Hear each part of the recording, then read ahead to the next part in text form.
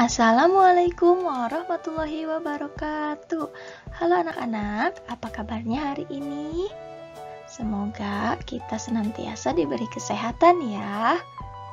Kembali lagi bersama Ibu Yusi dalam pelajaran matematika pada kelas 4.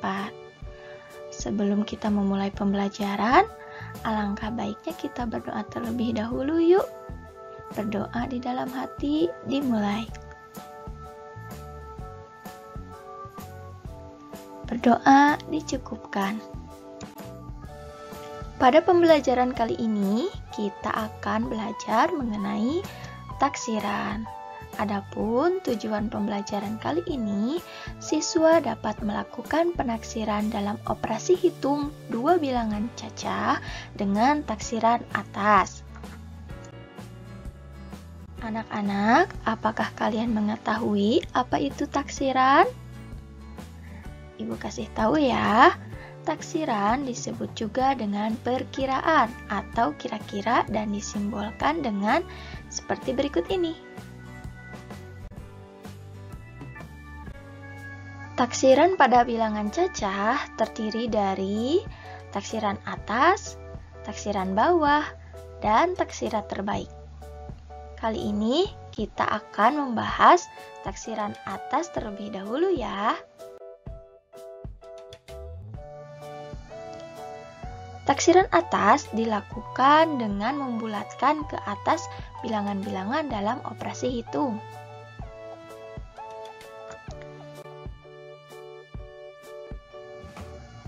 Berikut ini terdapat contoh taksiran atas, misalnya pada bilangan 7568,8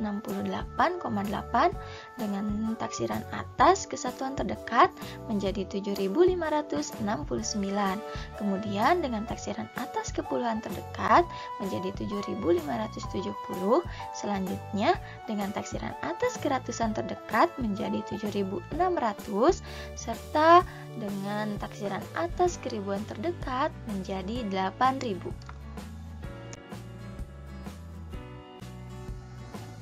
Baik anak-anak, kita amati dan perhatikan peristiwa berikut ini ya.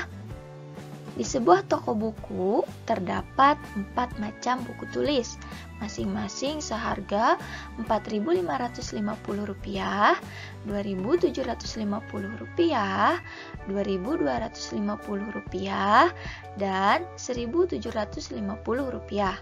Jika Edo hanya mempunyai uang Rp10.000, maka cukupkah uang Edo untuk membeli masing-masing satu buku dari empat macam buku tersebut? Dapatkah Edo membeli keempat buku tulis tersebut?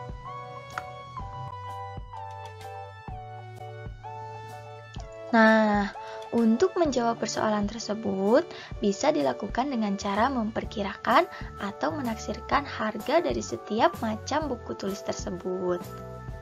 Buku ke-1 dengan harga 4.550 dengan taksiran atas ke ribuan terdekat menjadi 5.000. Buku kedua harganya 2.750 dengan taksiran atas ke ribuan terdekat menjadi 3.000. Kemudian buku ketiga harga 2.250 dengan taksiran atas ke ribuan terdekat menjadi 3.000. Selanjutnya, buku keempat harga 1750 dengan taksiran atas keribuan terdekat menjadi 2000. Sehingga total harga keempat buku tersebut dengan taksiran atas menjadi Rp13.000.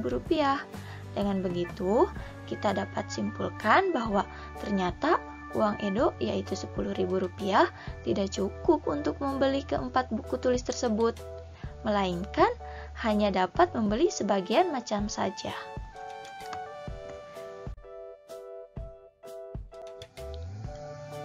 Contoh soal. Tentukan hasil operasi hitung berikut dengan taksiran atas. Nomor 1, 12 dikali 18. 12 dibulatkan ke atas menjadi 20, 18 dibulatkan ke atas menjadi 20, sehingga 12 kali 18 dengan taksiran atas menjadi 20 kali 20 sama dengan 400. Kemudian Soal kedua, 81 dibagi 23. 81 dibulatkan ke atas menjadi 90, 23 dibulatkan ke atas menjadi 30. Sehingga dengan taksiran atas, 81 dibagi 23 menjadi 90 dibagi 30 sama dengan 3.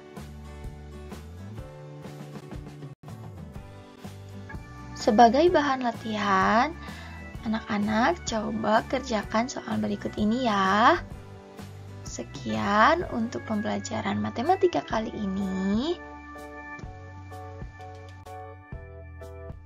Terima kasih atas perhatiannya. Tetap semangat belajar dan jaga kesehatan ya. Wassalamualaikum warahmatullahi wabarakatuh.